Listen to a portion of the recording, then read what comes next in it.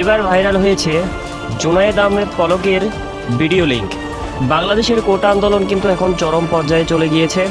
দেশে সহ বিদেশেও কিন্তু এই বার্তাটি পৌঁছে গিয়েছে। এই আন্দোলনকে সর্বকালের সেরা আন্দোলন বলা হচ্ছে। কেননা এখন পর্যন্ত অনেক ছাত্র মারা গিয়েছে, তারপরেও তারা থেমে যায়নি। আন্দোলন এখন পর্যন্ত চালিয়ে যাচ্ছে।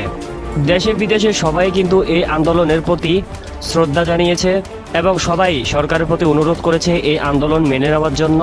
তবে এখন পর্যন্ত সরকার ছাত্রদের আন্দোলন মেনে নেয়নি, তাই ছাত্ররা এখন পর্যন্ত মাঠ ছাড়েনি।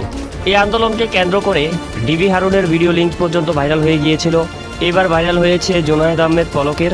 তবে পলকের একটি ছবি ভাইরাল হয়েছে, যেখানে এটি ভিডিও লিঙ্ক বলা যায় না।